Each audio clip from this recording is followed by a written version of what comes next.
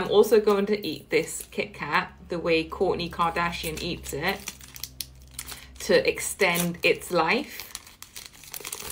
So she said first you snap it, then you eat your chocolate.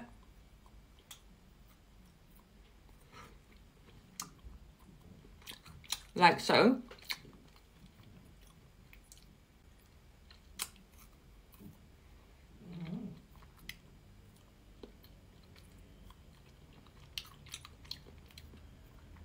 And then you're left with the top bit and the bottom bit. So you take the chocolate out of that as well. Only that layer.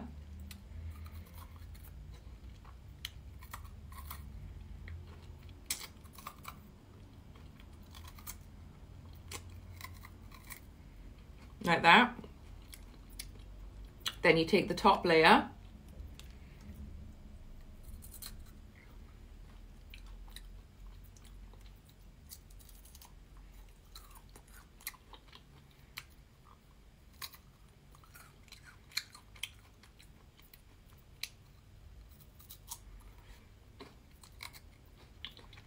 and then you're left with just the wafer part and that extended the life of a Kit Kat, making apparently you eat less.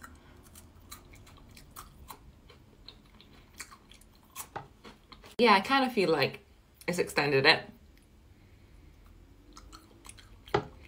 It's quite nice eating the chocolate off of it.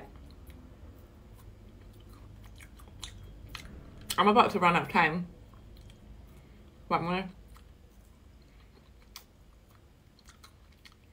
try. Mm -hmm. I do this quite fast. I'm running out of time now, but I'm gonna enjoy my leftover Kit Kat, but absolutely not. I feel starving, but we move. Have a good evening.